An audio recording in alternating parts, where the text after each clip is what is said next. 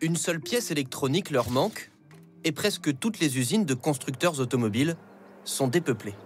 Celle de Renault à Batilly, par exemple, elle tournait déjà au ralenti, mais faute de composants, les 2000 employés sont depuis aujourd'hui et pour une semaine au chômage partiel.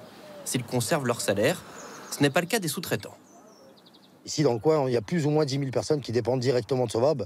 Donc il y a 10 000 personnes qui risquent de se retrouver euh, avec des pertes de salaire.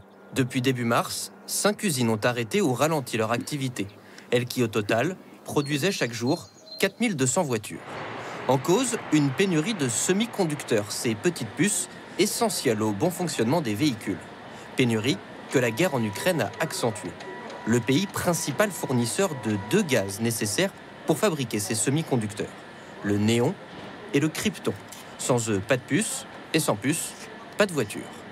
À Sochaux, l'activité de l'usine Stellantis est déjà très perturbée. Combien de temps avant qu'elle n'arrête sa production Pour l'équipe de nuit, la séance de lundi ne sera pas travaillée. Chaque jour, les salariés appellent ce numéro. C'est lui qui indique l'activité du lendemain. Imaginez-vous, euh, demain, vous ne savez pas si vous allez bosser, si vous n'allez pas bosser, si vous allez venir à 5 heures du matin ou si vous n'allez pas venir à 5 heures du matin. Comment vous allez organiser euh, votre journée Comment vous allez organiser la garde de vos enfants Comment vous allez emmener les enfants à l'école ou pas C'est vrai que ça devient fatigant et stressant. Ajoutez à cela une perte de salaire de 16% chaque jour non travaillé, plongeant un peu plus les ouvriers de l'usine dans l'incertitude en cette période de forte inflation où chaque euro compte.